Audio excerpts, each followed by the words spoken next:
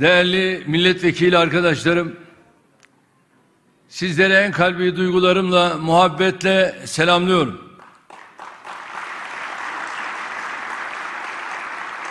Komisyonda ve genel kurulda yaklaşık iki ay süren bir maratonun ardından kabul edilen 2022 bütçemizin bir kez daha ülkemize ve milletimize hayırlı olmasını diliyorum. Meclis başkanımızdan komisyon başkanımıza, grup başkanımız ve grup başkan vekillerimizden görüşmelere katkı veren milletvekillerimize kadar bu süreçte emeği geçen herkese tekrar teşekkür ediyorum. Bu süreçte çok çalıştığımızı, yorulduğunuzu biliyorum. Rabbim emeğinizi, gayretinizi, fedakarlığınızı kabul eylesin diyorum. Milletimize karşı sorumluluklarımızı bir hakkın yerine getirmek için daha çok çalışacağımız bir döneme giriyoruz. Dünyada ve bölgemizde son 10 yıldır yaşanan gelişmeler salgınla birlikte yeni ve daha kritik bir safhaya ulaşmıştır. Türkiye bu 10 yıllık dönemde aklınıza gelebilecek her yol ve yöntemle sınandı. Sokaklarımız kaosa sürüklenmek istendi. Kaset kumpaslarıyla siyasi partilerin yönetimleri dizayn edilmeye çalışıldı.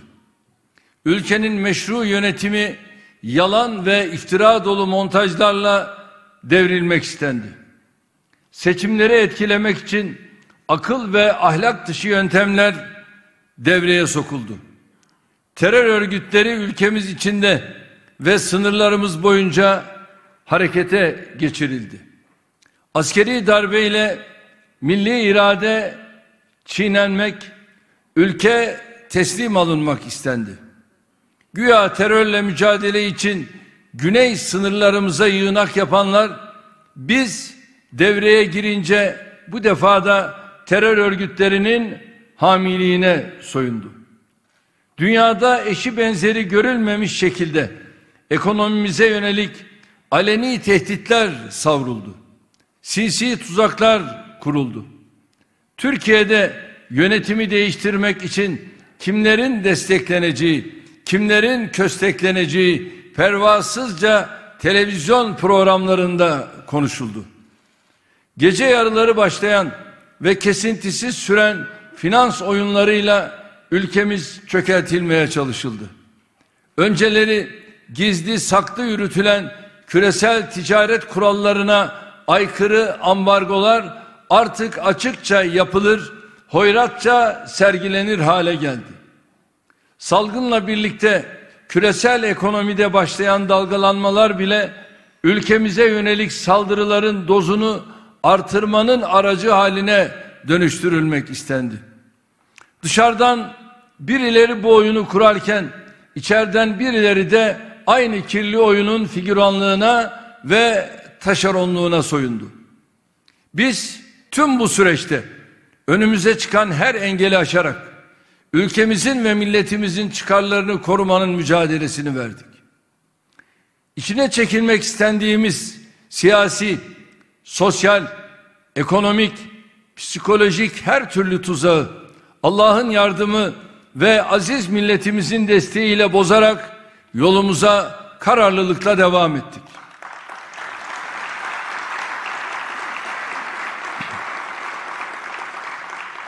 Elbette zor ve sıkıntılı günler geçirdik. Elbette canımız yandı. Elbette bedeller ödedik. Ama hamdolsun bu milletin izzetine halel getirmedik.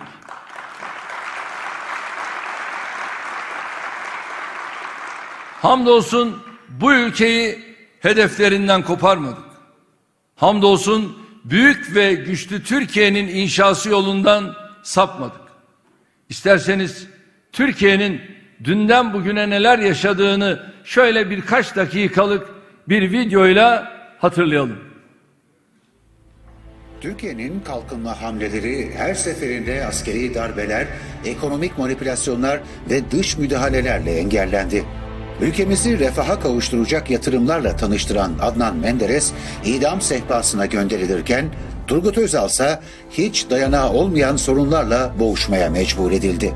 90'lı yılları siyasi kaos, terör ve ekonomik istikrarsızlığın gölgesinde geçiren Türkiye, 2001'de tarihinin en büyük krizlerinden birine sürüklendi. Faiz ve enflasyon sarmalına sokulan ülkemiz çaresiz bırakıldı ve IMF'nin kollarına atıldı. İşimiz zor, yolumuz uzun ama milletin desteğine ve kendimize olan güvenimiz tamdır. Türkiye 2002'nin ardından bu zinciri kırarken sanayiden eğitime, teknolojiden ulaşıma, enerjiden sağlığa kadar hemen her alanda ülke tarihinin en önemli kalkınma adımlarını birer birer atmaya başladı. Ekonomik istikrar sağlanırken IMF'ye olan borç da bitirildi. 2002-2013 döneminde enflasyon %30'dan %7'ye düşürüldü. 2002'de 3 bin dolar seviyesinde olan kişi başına gelir 2013'e gelindiğinde 12 bin dolar seviyesini aştı. Aynı dönem içerisinde Merkez Bankası rezervleri de 27 milyar dolardan 135 milyar dolara ulaştı. Faiz oranları ise %62'den %7,5'a düşürüldü. Türkiye kısa bir sürede kurulan güçlü ekonomik temeller neticesinde küresel çapta yıkıcı sonuçları olan 2008 krizini en az hasarla atlatan ülkelerden biri oldu. 2003'te başlayan bu yeni kalkınma süreci 10 sene sonra akamete uğratılmak istendi. Gezi kalkışması, Hendek terörü ve 15 Temmuz darbe girişimiyle sadece siyasi değil, ekonomik bağımsızlığımız da hedef alındı. Bu yıpratıcı faaliyetlerin Türkiye ekonomisine zararı 10 milyarlarca dolar oldu. Bütün bu olumsuzluklara rağmen kalkınmasını sürdüren Türkiye, verilen destekler ve sağlam ekonomik altyapısı sayesinde bütün dünyayı kasıp kavuran pandemi döneminde büyümeyi başaran iki ülkeden biri oldu. Türkiye'nin başarısından rahatsız olan mahfelerin ekonomik yıkıcı faaliyetlerin hedefinde bu sefer Türk lirası vardı manipülatif döviz işlemleri ve milletimizin döviz alımına teşvik edilmesine yönelik yürütülen dezenformasyon faaliyetleri neticesinde döviz fiyatlarının sağlıksız bir şekilde artması sağlandı. Türkiye'yi yeniden faiz kıskacını almak isteyenler cevabını çok net bir şekilde aldı. Üretimi ve istihdamı desteklemek için çeşitli başlıklar altında çok sayıda paketi hayata geçiriyoruz. Kabine sonrası açıkladığı ekonomik adımların ardından dövizi altında sert düşüşler yaşandı. Haftalardır yükselen döviz kurları hızla düşüşe geçti. Sert düşüşler yaşandı. Türkiye'de kalkınmanın sürekliliğini sağlamak ve cari açığı sona erdirerek dış borç bağımlılığını bitirmek amacıyla yeni bir ekonomik düzene geçilmesi gerekiyordu. Yeni ekonomik düzende ilk adımları derhal atan devletimiz TL bazında bireysel birikimi özendirmek amacıyla bireysel emekliliğe desteği %25'ten %30'a çıkarmış ve kur korumalı TL mevduatı sistemini devreye almış, yatırım ortamını güçlendirmek için faiz indirimlerine başlamış, dar gelirli kesimin enflasyona yenilmemesi için asgari ücreti %50 artırmış, işverenin üzerindeki vergi yükünü azaltmış ve yastık altında tutulan mevduatın finansal sisteme dahil edilerek yatırıma dönüşmesinin önünü açacak adımlar atmıştır. Yeni modelle birlikte finansal istikrar, istihdam, üretim ve ihracat artacak, kur oynaklığı, cari açık ve dış borç azalacak. Gücünü felaket çığırtkanlığı yapanlara kulaklığını tıkayarak geleceği için üreten milletinden alan Türkiye, her geçen gün 2023 hedeflerine daha emin adımlarla ilerliyor. 2003'e kadar hizmete girecek nükleer santrali, yerli doğalgazı, savunma sanayi ürünleri, yeni ulaşım imkanları, sanayi tesisleri ve yerli otomobiliyle Türkiye ekonominin her alanında dünyanın en büyükleri arasına girmeye hazırlanıyor.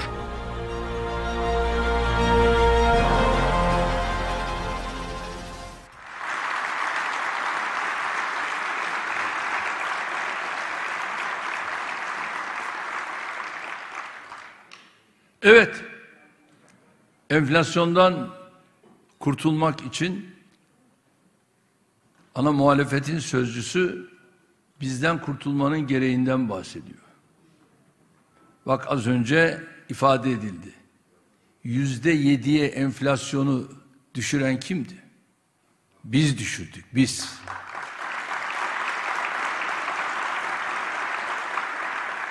Faizi yüzde dört buçuklara düşüren kimdi? Bizdik, biz. Ama sizin kitabınızda ne düşük faiz ne de düşük enflasyon diye bir şey yok. Sizin tarihiniz yüksek faizlerle dolu, yüksek enflasyonla dolu.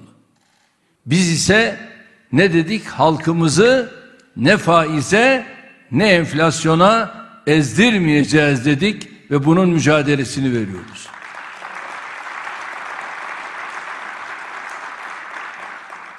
Alışacaksınız bunlara. Ve AK Parti iktidarıyla bunlar nasıl oluyor bunları göreceksiniz. Öğreneceksiniz. Çünkü AK Parti'nin iktidarıyla hemhal olmak öyle tabi dünden bugüne değil. Biraz zaman gerektiriyor. İşte şimdi o mücadelenin verildiği günlerdeyiz. Şimdi tüm bu birikimin üzerine dünyadaki gelişmelerin önümüze serdiği fırsatları da değerlendirecek şekilde yeni bir atılımın içindeyiz. Bugüne kadar girdiğimiz mücadelelerden nasıl alnımızın akıyla çıktıysak her seferinde ülkemize ve milletimize nasıl kazandırdıysak inşallah bu defa da hayırlısıyla istediğimiz neticelere ulaşacağız. Önümüzde engeller yok mu? Var. Bu ana muhalefetten daha büyük engel olur mu? Adamların işi gücü bu. Engel. Önümüzde riskler yok mu? Var. Önümüzde tuzaklar yok mu? Var. Ama bizim azmimiz ve gücümüz evvel Allah bunların hepsinden fazladır, üstündür, güçlüdür. Yeter ki birliğimize, beraberliğimize, kardeşliğimize sıkı sıkıya sahip çıkalım. Bunu başardığımızda diğer her şeyin üstesinden geliriz. Maalesef ülkemizde bir kesim dışarıdan da aldıkları işaret ve destekle bu birlik, beraberlik, kardeşlik iklimini dinamitlemenin peşinde. İşte çıkmış bir tanesi hastanelerde hani sus diyorlar ya. O da onu gösteriyor. Susmanız gerekiyor. Bunu önce öğrenin. Çünkü siz başka bir işe yaramazsınız. Öyle parmak sallamakla da bir yere varamazsınız.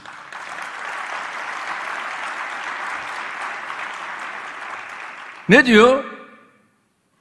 Şu hale bak ya. Aylardır erken seçim diyor.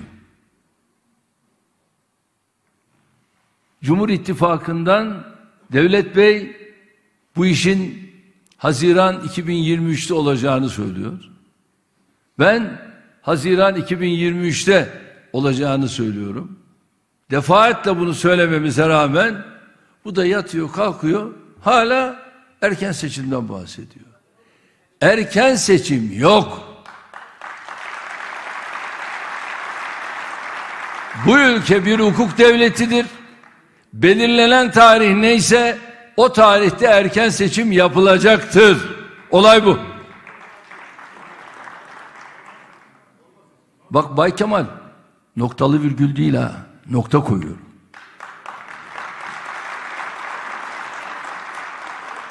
Bu ülkede hukukun ne olduğunu öğreneceksin. Ve bu ülkede yine nasıl gelişmiş ülkelerde sistem böyle çalışıyorsa ha bizde de böyle çalışacak. Ve inşallah Haziran 2023'te seçimimizi en güzel şekilde yapacağız. Şimdi burada ülkenin felaketinden medet uman kifayetsiz siyasetçilere sesleniyorum. Buradan manşetlerle hükümet devirip hükümet kurmaya alışmış akademisyen ve gazeteci kılıklı muhterislere sesleniyorum. Buradan milli iradenin üstünlüğünü kabullenmek istemeyen darbe heveslilerine sesleniyorum. Buradan çalışmadan, ter dökmeden, emek vermeden para kazanma peşinde koşan tüfeğlilere sesleniyorum. Para kazanma peşinde alın teriyle koşanları alkışlıyorum. Buradan terörle, şiddetle, tehditle, ambargoyla Türk siyasetini dizayn etmeye çalışan emperyalistlere sesleniyorum. Buradan siyaset kurumuna ayar vermeye alışmış vesayet artıklarına sesleniyorum. Başaramayacaksınız.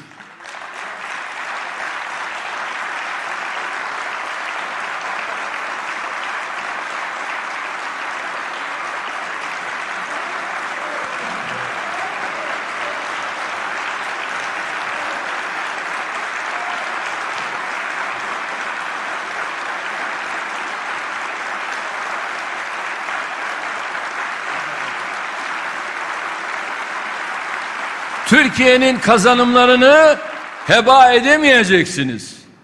Türkiye'yi eski o kötü günlerine geri döndüremeyeceksiniz. Bu milletin alın terini sömüremeyeceksiniz. Bu ülkenin ayağına pranga vuramayacaksınız.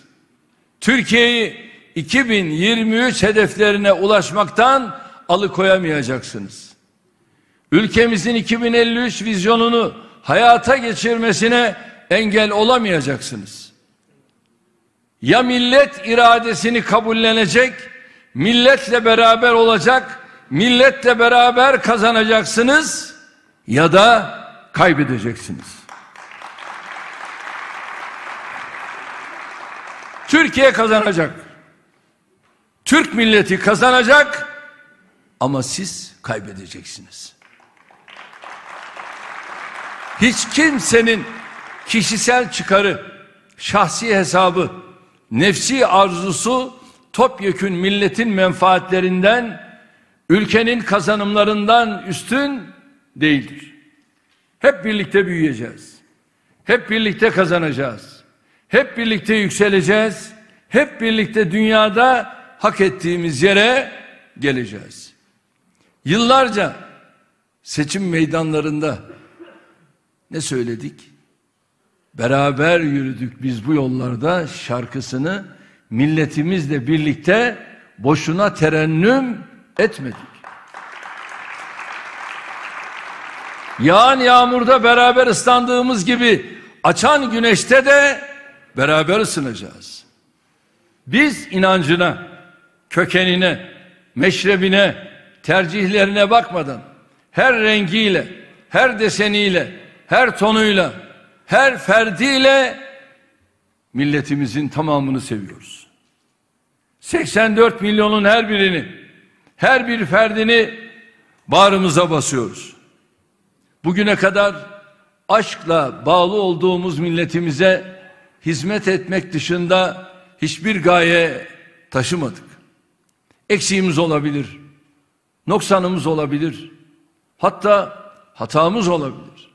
Ama hüsnü niyetimizden, samimiyetimizden, gayretimizden, ülkemize kazandırdığımız eser ve hizmetlerin büyüklüğünden, ortaya koyduğumuz hedeflerin doğruluğundan kimsenin şüphesi olamaz. Bir kez daha altını çizerek söylüyorum. Ne yaptığımızı biliyoruz.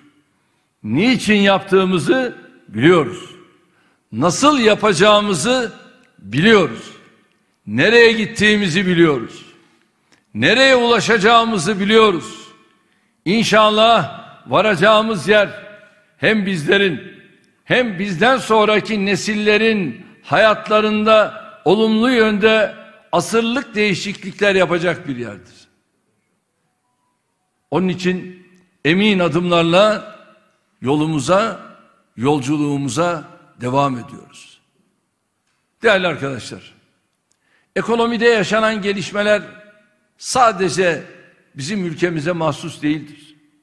Sadece bu döneme mahsus da değildir. Esasen ekonomi dediğiniz dinamik alan sürekli bir değişim içindedir.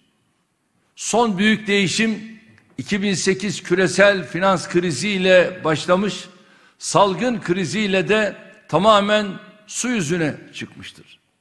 Sorunun kaynağı küresel ekonomiden gelişmekte olan ülkelerin aldığı payın düzenli bir şekilde artarak gelişmiş ülkeleri geride bırakmış olmasıdır. Yetişmiş insan potansiyeliyle, sanayide ve tarımdaki üretim gücüyle, inovasyon kabiliyetiyle gelişmekte olan ülkeler artık kaplarına sığmamaktadır.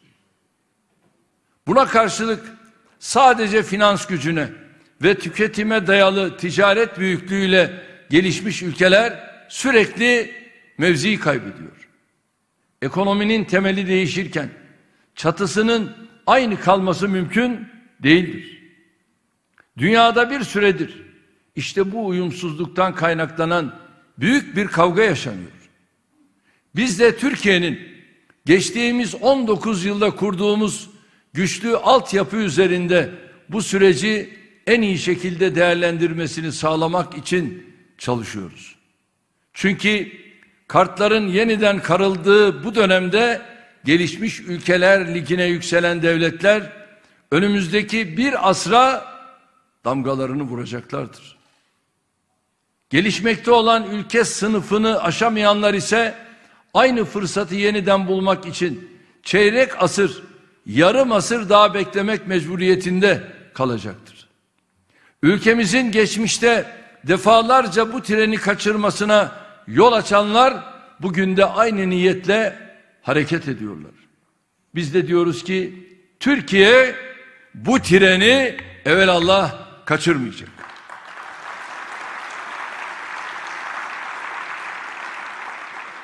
Hatta bu trenin öyle son vagonunda filan değil, birinci sınıfında hak ettiğimiz yeri alacağız.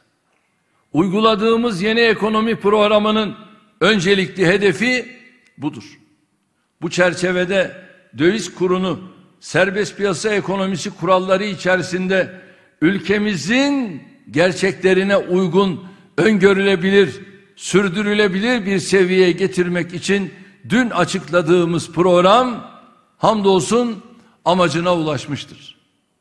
Milletimiz bu programdaki tedbirleri ve kararlı duruşumuzu takdirle karşılamış, benimsemiş, piyasalar da buna uygun adımları atmıştır.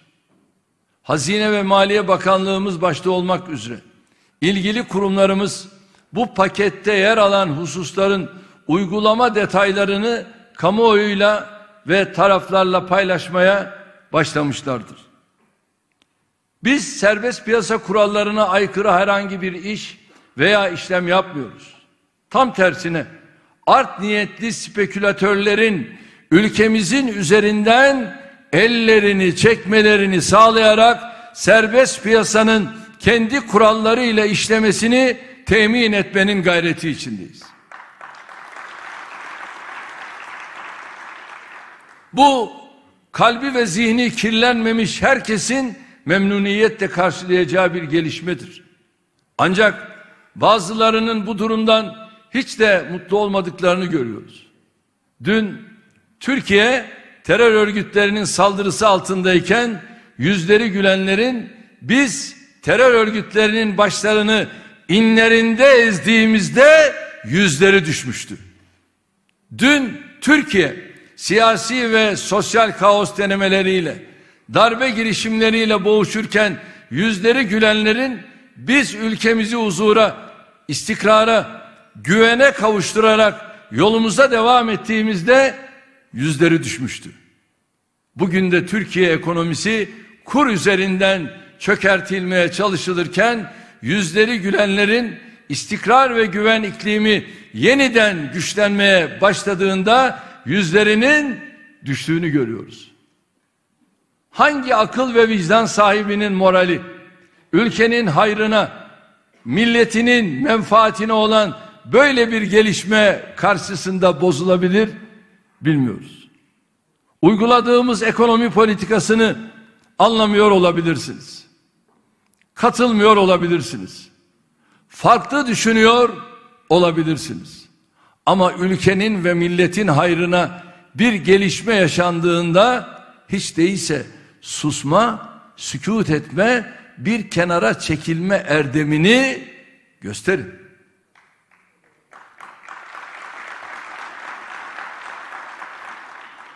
Dün çıkmış birisi kur düşüyor, dolar almanın tam zamanı. Bu iş kaldığı yerden devam edecek mealinde açıklamalar yapıyor. Ya bunların beyni sulanmış. Aynen öyle. Bunlara gereken cevabı inşallah en kısa zamanda benim milletim en güzel şekilde verecek.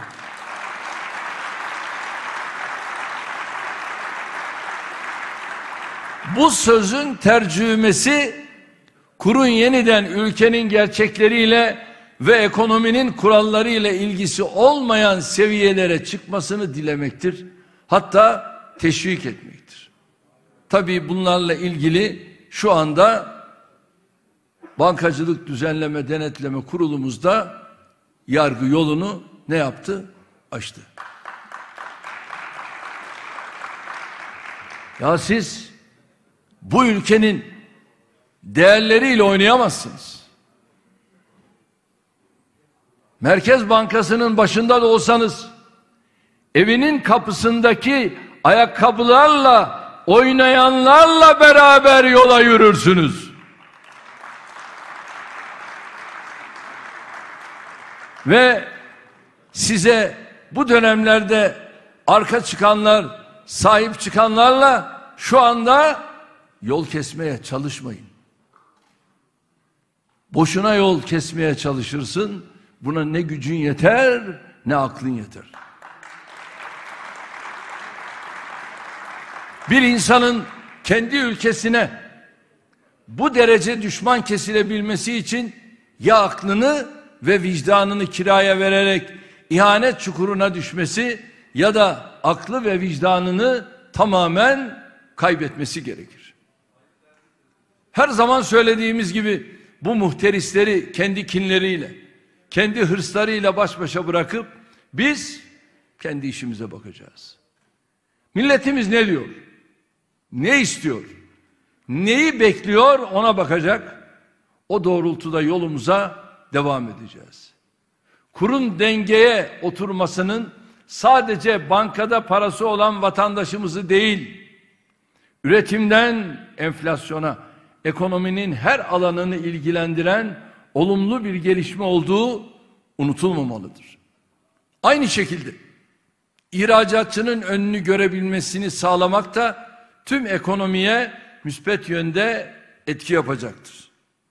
Dolayısıyla burada kazanan sadece bankada parası olan veya ihracat yapan değil, ülkemizin tamamıdır. 84 milyonun her bir ferdidir. Buradan bir kez daha herkesi yatırıma, istihdama, üretime, ihracata davet ediyor. Ülkemizi cari fazlayla büyütme kararlılığımızı tekrarlıyoruz. Değerli arkadaşlar, kur ve enflasyon baskısı altında hiçbir vatandaşımızın kazanımlarını kaybetmesine izin vermemekte kararlıyız. Bunun için özellikle çalışanlarımızın gelirlerini artırmaya yönelik ciddi adımlar attık. Kamu işçilerine ve memurlarına yapılan toplu sözleşmelerini enflasyon farkıyla garanti altına aldık. Asgari ücrete yüzde elli ile tarihimizin en yüksek artışını yaptık.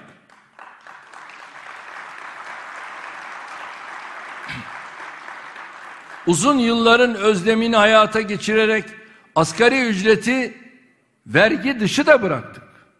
Yıllardır, on yıllardır ne deniyordu? Asgari ücret vergi dişi kalmalı. İşte bunu da bizim iktidarımız başardı. Bununla kalmadık. Memurlarımız dahil tüm çalışanların asgari ücret rakamı kadarki gelirlerini de aynı kapsama aldık. Böylece mesela memurlarımızda toplu sözleşme artışına ve enflasyon farkına ilave olarak aylık ortalama 300 liralık ücret artışı sağladık. Yine memurlarımıza söz verdiğimiz 3600 ek gösterge uygulamasını da inşallah önümüzdeki yıl içinde hayata geçiriyoruz. Özel sektörümüzün de kendi çalışanlarına bu gelişmeler doğrultusunda hak ettikleri ücreti takdim edeceğinden şüphe duymuyoruz. Bugün bir müjde de orman işçilerimize vermek istiyorum. Ülke olarak ormancılık faaliyetlerinde gerçekten gurur veren çalışmalara imza atıyoruz. Son 19 yılda önceki 57 yılda yapılan ağaçlandırmanın bir buçuk katını gerçekleştirerek beş buçuk milyar fidanı toprakla buluşturduk. Ağaçlandırma çalışmalarında Avrupa'da birinci, dünyada ise dördüncü sıradayız.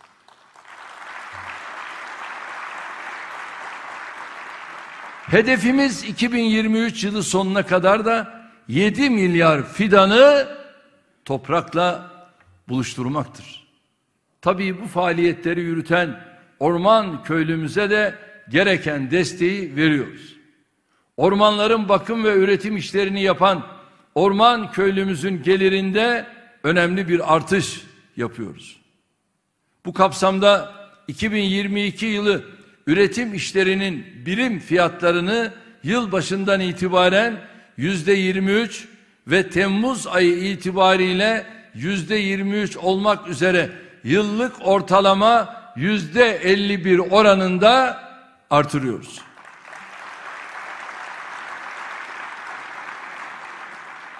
Orman köylümüzün alın terinin karşılığını vereceğine inandığım bu artışların hayırlı olmasını diliyorum. Diğer yandan ülkemizde bir süredir yaşanan kuraklık nedeniyle buğday, arpa, çavdar, yulaf, tritikale, nohut ve mercimek üreticilerimiz verim kaybı yaşamıştır. Kuraklıktan zarar gören toplam 651 bin üreticimize verim kaybı oranlarına göre değişen miktarlarda kuraklık desteği ödemesi yapıyoruz.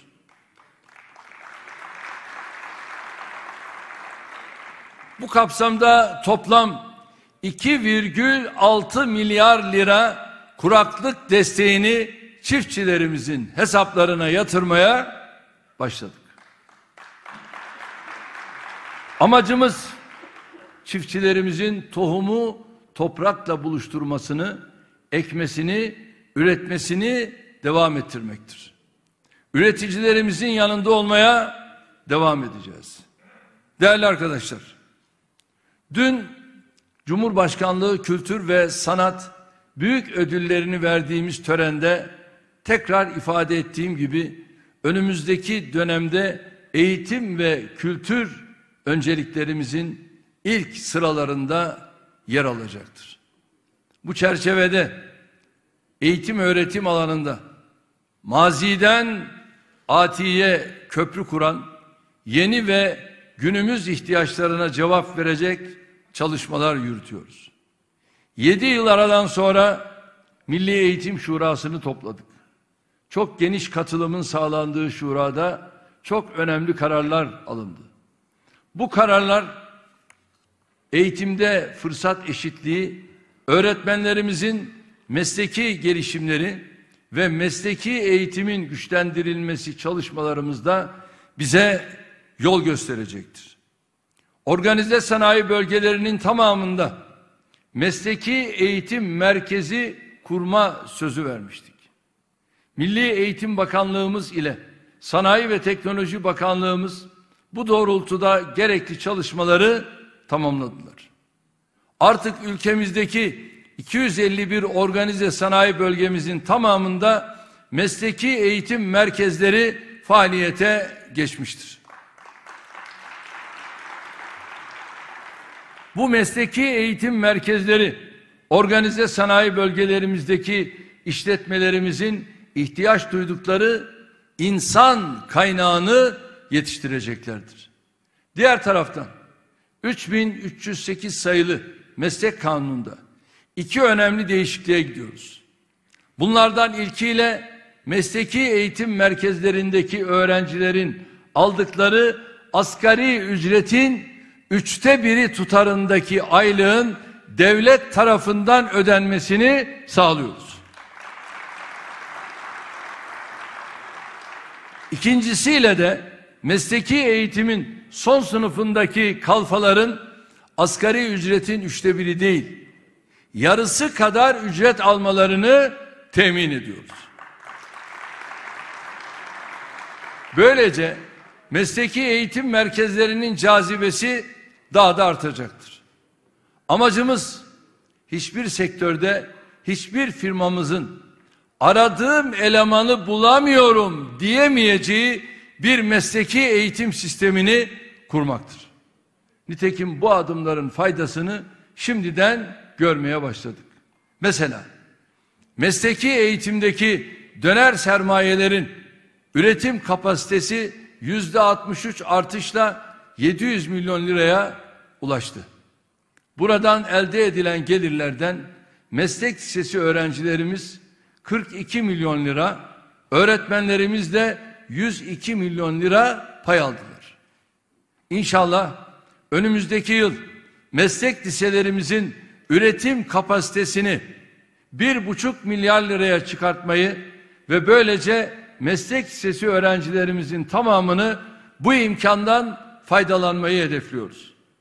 Meslek liselerimizde üretilen ürünlerden biri de hızlı antijen kitidir. Sonucu 15 dakikada belli olan bu kitin kullanım onayı alındıktan sonra okullarımızda uygulamaya sokulacaktır.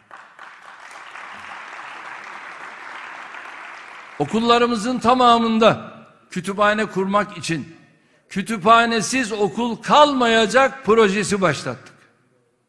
Bu kapsamda bir buçuk ay gibi kısa sürede 13.500 kütüphaneyi okullarımıza kazandırdık. İnşallah bu ayın sonunda bu proje tamamlanacak ve kütüphanesiz okul kalmayacak. Okullarımızın doğal gaz dönüşüm taleplerinin hepsini de karşıladık. Son olarak 15 bin yeni öğretmen atamasıyla ilgili süreç devam ediyor.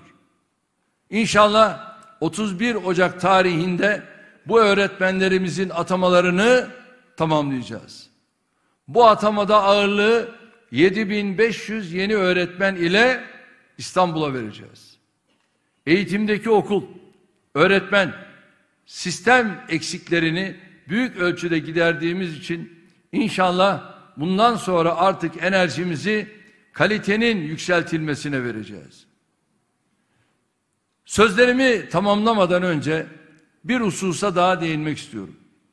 Bilindiği gibi dünyamız son iki yıldır koronavirüs salgınıyla mücadele ediyor. Salgının çeşitli varyantlar ve şekillerle daha epeyce zaman hayatımızda kalacağı anlaşılıyor. Avrupa ülkelerinde yeniden kapanmalar başladı. Hamdolsun biz güçlü sağlık sistemimiz, yaygın aşılama oranımız ve tedbirlere riayetimizle bu süreci nispeten rahat geçiriyoruz. İşte en kritik anda bile 3 ay gibi kısa bir sürede Çam Sakura Hastanesi'ni tamamladık, bitirdik. Ama 3 aylık süreye ise biz Atatürk Havalimanı'nda ve Sancaktepe'de 1006 odalı iki hastaneyi yetiştirdik ve bu arada bir tanesini de Yine Arnavutköy'de yaptık, bitirdik. Numan Bey'in babasının adını da verdiğimiz o tarihi eseri modern bir hastaneye çevirdik. Hasta ve vefat sayılarındaki aşağı yönlü eğilim hamdolsun devam ediyor. Salgına karşı en güçlü tedbir olan aşıyı kendimiz üretmek için uzunca bir süredir çalışıyorduk. Grup toplantımızın ardından bu konuda bir müjdeyi canlı bağlantıyla milletimizle paylaşacağız. Ve Şanlıurfa'daki bu merkez bir diğer adımda inşallah İstanbul'da atacağımız adımla Türkovak inşallah tüm dünya ile tüm insanlık ile buluşuyor.